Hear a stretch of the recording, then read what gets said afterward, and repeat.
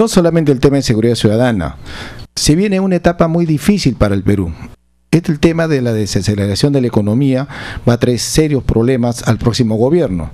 El tema del fenómeno del niño también es un serio problema que va a incidir sobre el tema de lo que es trabajo, seguridad, salud, educación. Nosotros hemos planteado de que en el tema de seguridad ciudadana debe haber un liderazgo. El presidente no asume ese liderazgo. Parece que el presidente está preocupado en otros temas y no le da el verdadero sentido de la importancia de lo que es vivir en un país sin seguridad, porque ahuyenta las inversiones, ahuyenta a los empresarios, incluso los empresarios y el empresario nacional también tiene que invertir en su seguridad, cosa que no lo tiene que hacer. Al invertir, al invertir en su seguridad, deja de dar trabajo y perjudicado es el pueblo mismo.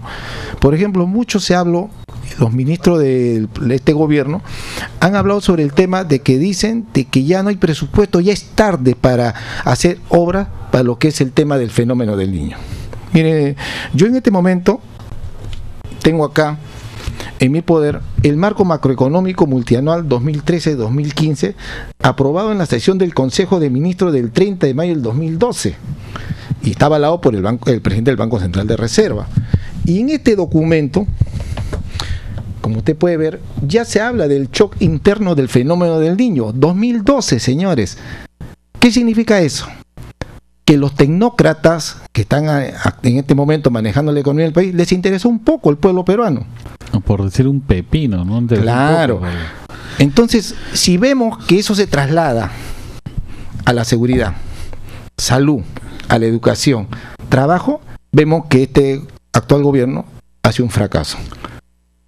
Para ti, Claudio, cuando el presidente de la República, en sus expresiones de hace dos domingos pasados, eh, frente a un periodista le decía que eh, como que se enorgullecía el presidente porque decía que había invertido más dinero que los otros dos anteriores gobiernos pero la inseguridad es terrible ¿qué significa esto? o sea el dinero se invierte se regala se vota ¿qué es lo que significa esto?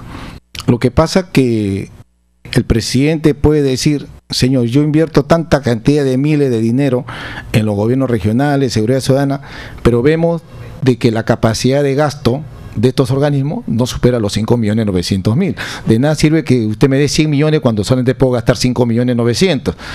Entonces ahí lo que hace es que ese dinero se revierte y en la práctica es una ilusión darle dinero a las regiones, a los organismos públicos que tienen que ver con estos problemas cuando de verdad no pueden gastar.